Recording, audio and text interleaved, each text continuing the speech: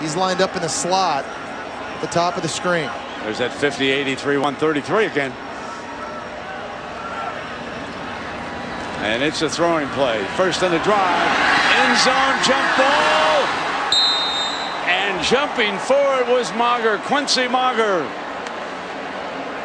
He covered so much ground. This is kind of one of those double moves outside where they're trying to run a slant and go with J'Mon Moore, and there's the safety Mauger coming in. Can't see where Got his foot two- came two down, but he's it. dragging Wow. it.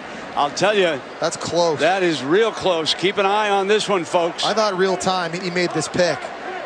Kind of bobbled it initially, but then he got his hands back on it. After review, the player got his foot down, completed interception. Therefore, it's first down on the 20-yard line, Georgia. That's the right call.